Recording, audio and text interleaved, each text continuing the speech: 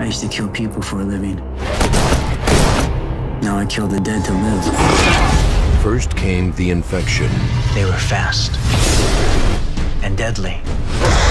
The smallest noise drew them out like flies. Not smells or sights. Then the resistance. What you do keeps this place from falling into anarchy. Let's just hope we can make it last long enough for our children to have a peaceful world once more. Now it's a race for survival. Stay alert. We're under attack. It's time to leave. Out here, Cars already loaded. Water, food, guns. Head up north. Haven. it's kill or be killed. Take my gun.